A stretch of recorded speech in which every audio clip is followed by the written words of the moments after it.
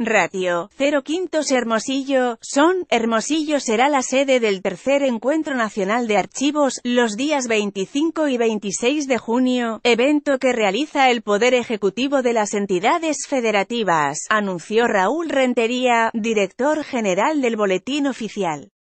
En rueda de prensa junto a Ramón Antonio Miranda Camou, encargado del Archivo del Estado, Patricia Ríos García, jefa de Departamento de Patrimonio Cultural y Archivo Histórico de la Universidad de Sonora e Ignacio Amaya Áviles, encargado de despacho del área académica de la UES, anunciaron los pormenores del evento.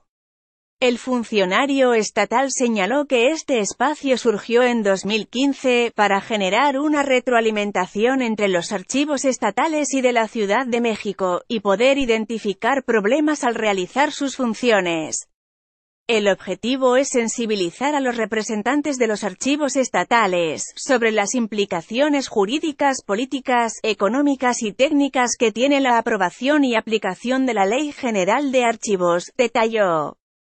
Precisó que este encuentro permitirá el diálogo entre los representantes de los archivos estatales, sobre las dudas de la aplicación de la Ley General de Archivos y posteriormente generarán en conjunto mecanismos de coordinación que contribuyan al establecimiento de sistemas estatales para la preservación del patrimonio documental.